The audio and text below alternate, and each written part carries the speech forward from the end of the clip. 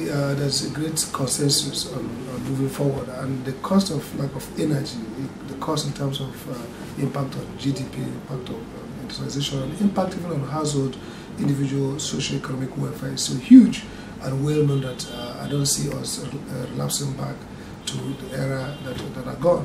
I think going forward, there's a consensus on the legal framework is there now. The pillars of the new reform is, of course, the federal government has unbundled the monopoly public provider will now have uh, separation between generation, distribution, and transmission, ensuring that the, the, the, sector moves according to the rules of the game.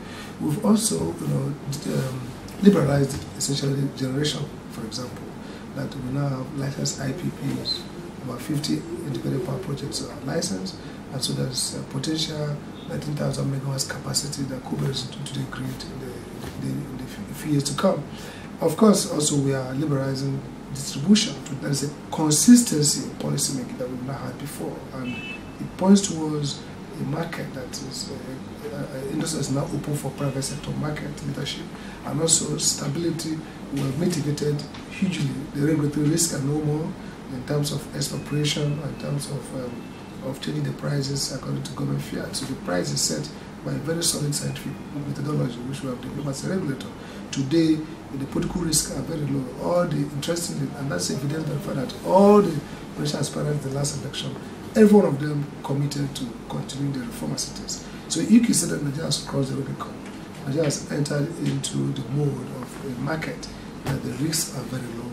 And of course, with the World Bank purchase guarantee and the government commitment, there is a greater you know, incentive for investors to come in. The transmission, which is still remains in government hand, is now going to be managed by the private sector. The tariff as it exists before this new uh, multi-year tariff order is coming up in June 1st, it is low. It ranks about the lowest probably in the region. Today, Ghana is about 25 uh, naira, Nigerian naira for uh, kilowatt hour. Uh, Chad is about 27 Nigerian naira. And we are just, you know, average tariff is about, wholesale is about, about uh, 10 naira about 6 naira thereabout, and then the retail is about 10 naira for the bulk of the customer class. I think we are very low, and that's why the initiative is to make our tariff competitive without, and also be affordable.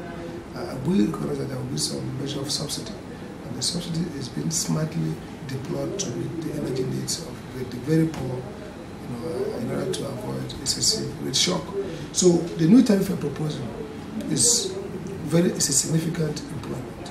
Uh, although it's, it's been structured in a way that the poor don't pay much, but the bulk of the, the other high earning, high consuming classes, the R, our own R3 and R4, and then the commercial 3 and 4, pay a lot more, pay for the energy that they consume, and pay to cover the cost for their service.